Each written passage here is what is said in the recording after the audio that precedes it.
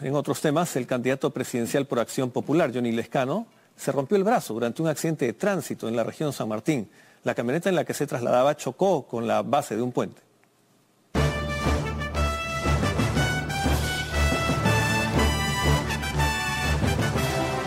Es la camioneta en la que se trasladaba el candidato presidencial de Acción Popular. La parte delantera de la carrocería quedó destrozada tras chocar con la base del puente Punta Arena en el distrito de Campanilla en la región San Martín. Entre los ocupantes, Johnny Lescano fue el más afectado. En un principio parecía que solo se trataba de una herida leve en uno de sus brazos. Sin embargo, después, él mismo confirmó que deberá ser sometido a una operación. Eh, ser intervenidos quirúrgicamente, vamos a avanzar hacia Pucallpa para tomar las decisiones médicas que tenemos que tomar.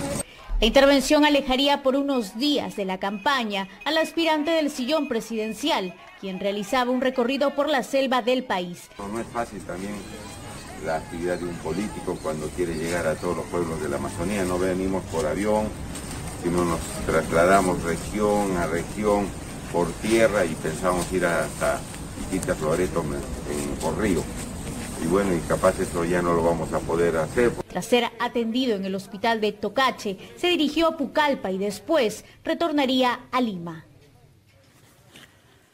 7 y 54, los candidatos a la presidencia opinaron sobre la revelación del ex mandatario Vizcarra y su supuesta condición de voluntario en el ensayo de la vacuna de Sinopharm.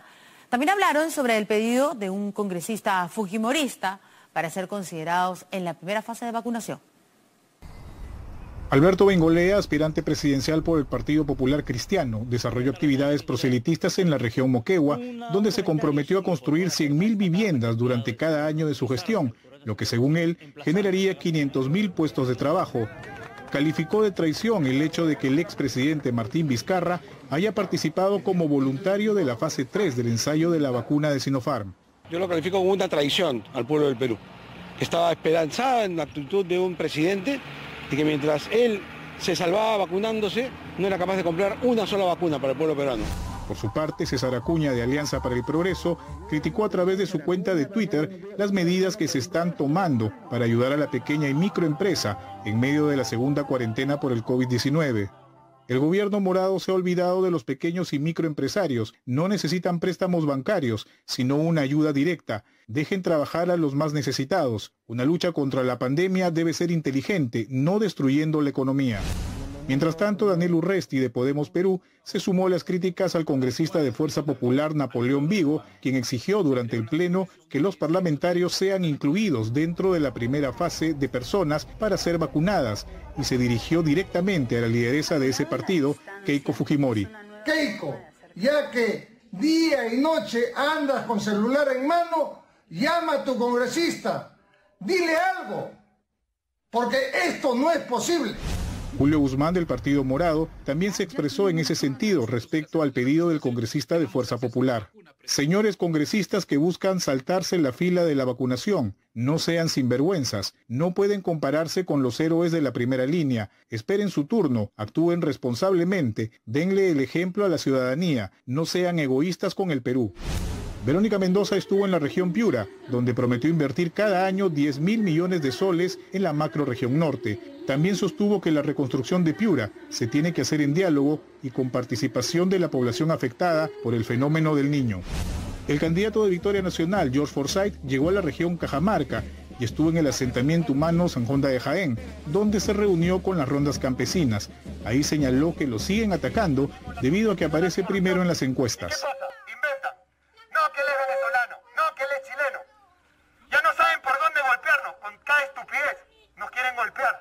pero hace un año seguimos primeros. ¿Por qué? Porque representamos al pueblo, representamos ese cansancio. Queremos la nueva generación.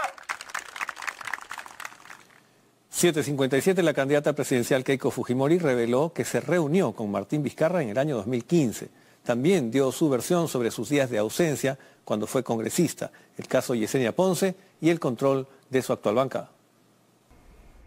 En el libro Vizcarra, una historia de traición y lealtad del periodista Martin Rippel, se cuenta el interés que tuvo la lideresa del Fujimorismo de incluir al expresidente en su plancha presidencial. Ocurrió en el 2015. Sí, yo conversé con él.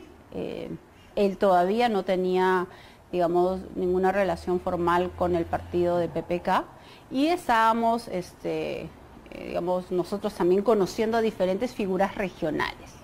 La candidata presidencial admite la reunión, pero no su deseo de que lo acompañara en la plancha, sino más bien en el Congreso. No, en la plancha no. Tuvimos una conversación, así como tuve con él, con diferentes eh, expresidentes regionales. Keiko Fujimori responde a los fantasmas del pasado. Asegura que nunca dijo lo que la ex parlamentaria Yesenia Ponce reveló en septiembre de 2017.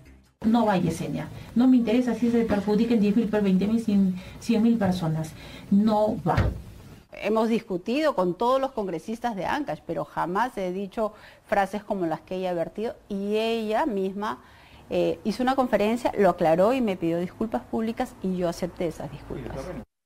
Explicó también porque dijo en una entrevista en el 2016 que ningún Fujimori sería candidato en el 2021. En la premisa de que yo eh, ganaría las elecciones, ¿no? Y que Kenji no sería candidato. A eso eh, se debe la respuesta. La semana pasada los integrantes de su bancada en el Congreso votaron en contra de eliminar la inmunidad parlamentaria. Dijo que fueron votos de conciencia. No tengo mucha relación en estos momentos con la bancada, pero yo me imagino que todos ellos eh, han reflexionado y han decidido hacer un análisis sin populismo y habrá que preguntarle a ellos cuáles son los argumentos por los cuales han votado así.